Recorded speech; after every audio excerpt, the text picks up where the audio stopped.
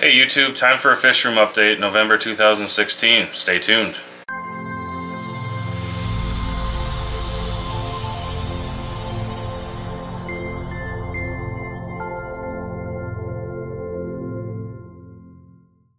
Alright YouTube, it's Brian again coming at you with a fish room update for November of 2016. And uh, we're going to start out up here with uh, Cheeto's tank. This is in my office. As you can see, he's still doing well, um, full of energy, full of personality. Um, it's really cool having him up in my office. Uh, get to check him out every day. I'll just, as I'm sitting at my desk, I just turn right a little bit and there he is. Um, just an awesome, awesome fish. Um, couldn't be happier with this guy.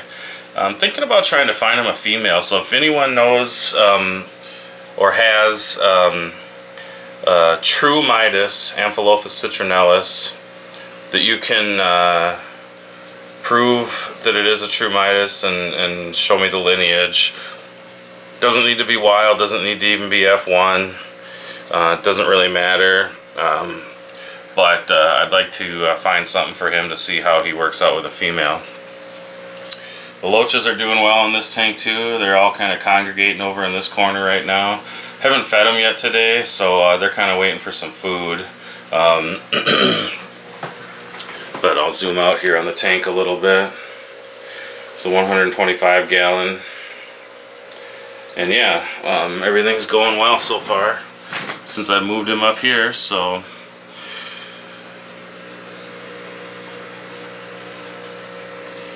that is the big boy. Alright, um, behind my desk is the 90 gallon uh, shrimp only tank now. Taking all the fish out of it. This is a Iwagumi aquascape that I did. Um, Monte Carlo is the carpeting plant and Oiko stones, I believe that's how they're pronounced, are the hardscape. And I've got, uh, oh, about 300 um, cherry shrimp in here and most of these are pretty nice grade. Um, you could call them painted fire reds. PFRs as they say. Try to zoom in on some of the nicer looking ones. But yeah this tank's doing good. I'm still fighting a little bit of an algae issue in here. Um, but overall things are doing pretty good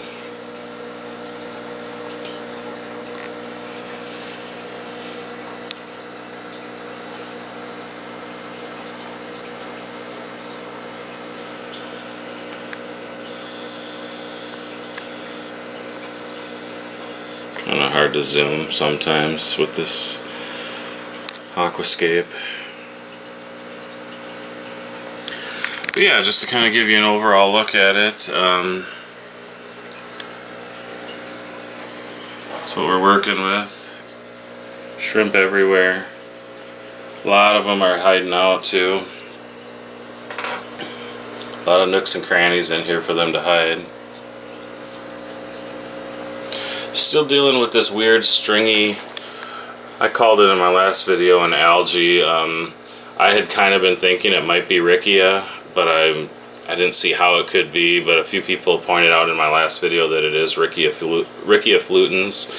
So I know in the past I've dealt with, I'll never, that's a plant that I would never um, recommend getting unless you want to live with it for the rest of your life. It just seems to follow follow things everywhere. Like I I had one batch of it in a tank a couple years ago and I'm still fighting it in this tank and the only thing I can figure is that it must have somehow a little bit of it must have attached to these stones because what had happened was part of that Riccia was in this tank at one point before I created this scape I had some of these stones in this tank and in another type of escape and somehow it must have gotten onto these stones, one of these stones, and it, it just won't go away once you get it. Um, it's one of those plants that uh, to me is a nuisance, nuisance plant. Don't get me wrong, when you have a nice pad of it, it looks cool, but it's just it's just messing up this aquascape in my opinion. So, but anyway, I spent enough time on this tank, so we'll take you out here to take a look at the uh, discus tank, and then we'll head downstairs. Kind of a dark, gloomy day here in Minnesota, getting a lot of rain, so I'm just keeping all the lights off to get better uh, lighting in the tanks, I guess you'd say. Discus are all doing well. Getting a little bit of a oh I don't I always forget what kind of algae this is. Blackbeard maybe? No, it's different than blackbeard. It's kind of like puffy like little puff balls. I've had it before in here and I removed it myself. Worked on the water parameters a little get the phosphate levels down and everything. Turns out okay so just need to find some time to put the work in uh, to do that. But uh, we'll get it looking better again. Um, I moved the Cardinal Tetras from that 90 gallon that we were just showing into this tank and um, I'm going to just kind of wait and see how they do. In the past I've had bigger discus like this guy eat cardinals um, so I went to these Serpes for this tank. I like the Serpes but man a Cardinal Tetra in with discus for some reason I know it's overdone and it's uh, everyone does it, but it just looks so cool. And it honestly looks even cooler when you're sitting far, like across the room. So I'm hoping that these survive, and if so, I'm gonna add more and remove the Serpes. Just personal preference, um, but uh, that's what I'll probably end up doing. So yeah, that's the discus tank. We'll go downstairs and take a look. Um, depending on when this airs, uh, I'll have a separate reef update either before or after this video and then uh, also a separate shrimp video this month so keep your eyes out for those. Here's Colossus.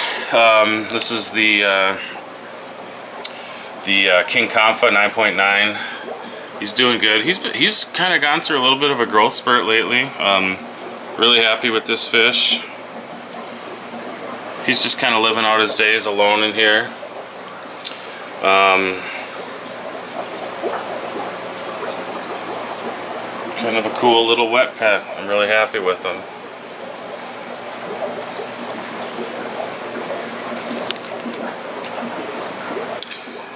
He's hungry, he wants to eat.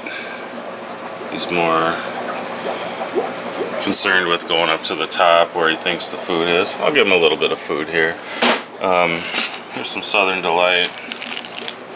This is large cichlid. This is actually what I feed the Midas below. I've been feeding him power feed, but since the can or the bottle's right here, I'll just give him a little bit. He'll eat it, I'm sure. Yep, loves the stuff. Can't go wrong with Southern Delight. Down below is the Midas pair. Still doing good.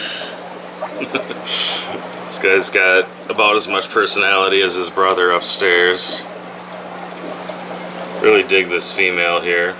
Still not 100% convinced that she's a true Midas, but man, these colors on her, the white with the orange highlights is just so cool.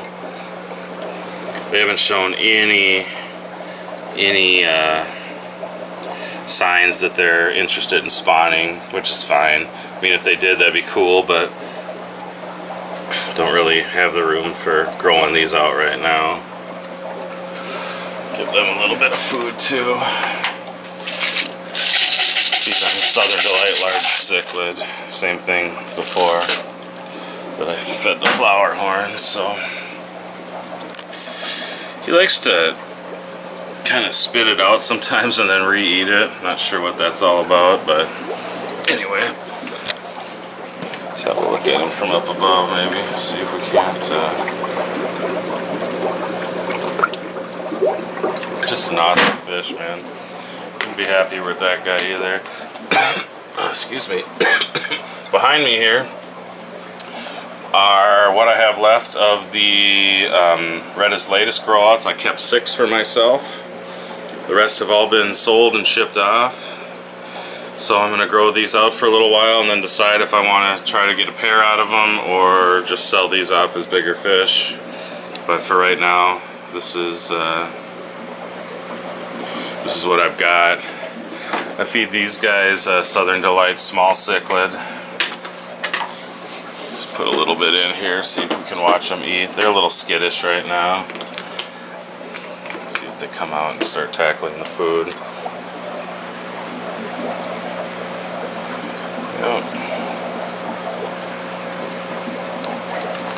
This is kind of the big dog of the tank. This guy right here.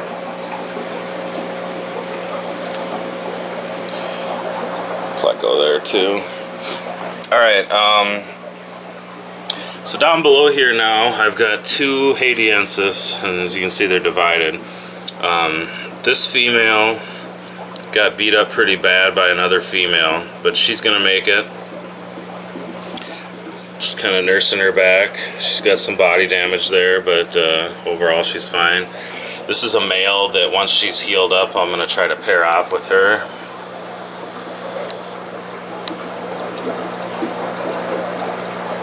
So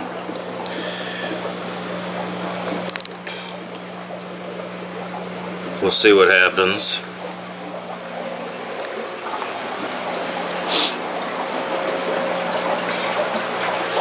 My other flower horn.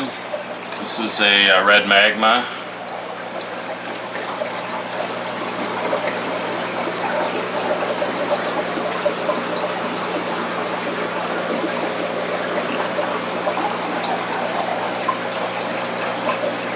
Really enjoying this guy too. I'm working on, uh, I know I mentioned at the end of my last video, but I'm working on um, I got an air system set up, so I've got sponge filters in all the tanks, and I'm just going to be slowly removing my canisters and or uh, hang-on back filters. So um, the, these guys, these uh, sponges are about seated now, so we should be ready to go soon. There's some shrimp tanks, but I'll do that separately in a separate video. So down here now, what I've got is um, these are the Sequoia that I had in with my Red Isletas, and then also the Sequoia growouts that I had in those small growout tanks across the room. So, um, I'm really digging these lately. Um, you know, I had kind of just kept them for the most part for dithers, and then as they started breeding and you really look at them, they're just a really cool looking fish. The light here isn't doing them justice, but when they're in breeding dress, especially these males, they look so cool. The other cool thing about them is, you know, these males that you're seeing in here are, are full grown, you know, at what, four or five inches. But they're just a, well, I think they're full grown. They may grow a little bit more. But it's so cool. They have nuchal humps on them and they just look like a miniature size of some big beast cichlid like a Hoga or a Isletas or something like that along those lines. So it's really cool. I kind of like it. So I've just kind of put these all together, kind of let them be a, a, little breeding colony on their own. Before I had them with the Isletas, that's what they were too. They weren't quite as, as big and they were breeding all the time together. So um, I've set up some tubes and some pots and you know, it's just kind of a fun little tank, something a little bit different uh, for me. This guy right here is my favorite one. He kind of rules the tank but um, when he's in breeding dress, boy, cool looking colors. Alright, then we've got the umbies, which by the way, these umbies are, I've got them listed for sale right now on Fish Keepers Classifieds. If you're interested in an umbie pair, let me know. My email is in the description below. Whoa, But this is an F1 Rio Magdalena Umbie from Magnus and Beast. Which if you know anything about Umbies, you know who Magnus and Beast are.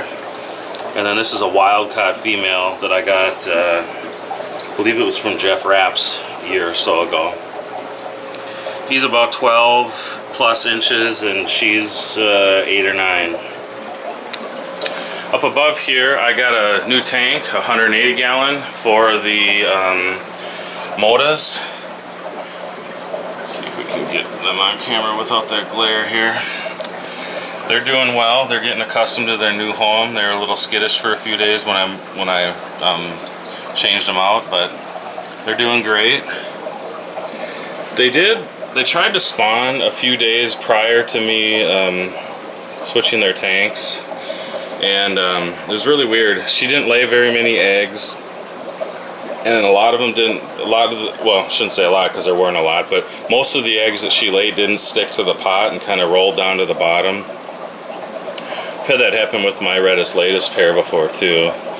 So um, it was just kind of weird, and her tube looked really funny during the process, and there was, I don't know how to explain it, but it, it didn't go real well. But at any rate, we'll just keep uh, keep hanging on with these guys. I really love them, and uh, they're just a great looking fish, and we'll just kind of wait and see what continues to happen as far as spawning goes.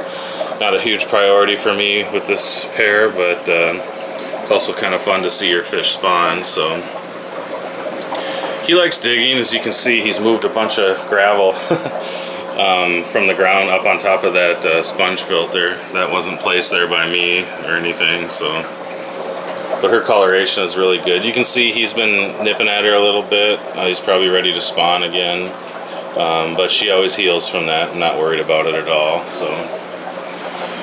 Uh, moving next door, here's the Red Isletas pair. Um, they also spawned since my last video, um, but um, they the, most of the eggs um, just kind of rolled to the bottom of the pot, and um, they made it to wigglers, and they must have ate them because they were just all of a sudden gone.